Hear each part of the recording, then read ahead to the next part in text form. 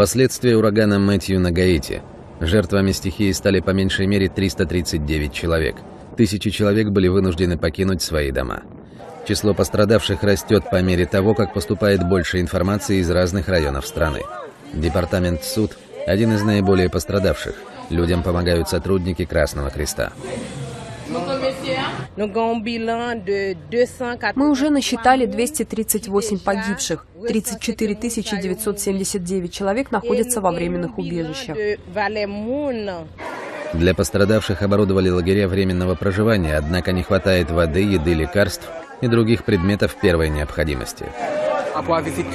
Приехав в приют, я понял, что там нет воды. Мы не можем помочь людям, еды тоже нет. Есть другие проблемы.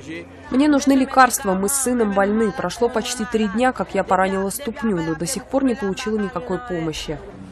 Еще четыре человека погибли в соседней Доминиканской республике. Тем временем ураган движется на США. Около полутора миллионов человек получили предписание эвакуироваться с побережья Флориды. По данным Национального метеобюро США, Мэтью может стать самым сильным штормом, ударившим по северо-востоку Флориды за последние 118 лет. В этом штате, а также в Джорджии и Южной и Северной Каролине объявлено чрезвычайное положение. Миллионы домов также могут остаться без света. Мэтью присвоен четвертый уровень опасности из пяти возможных.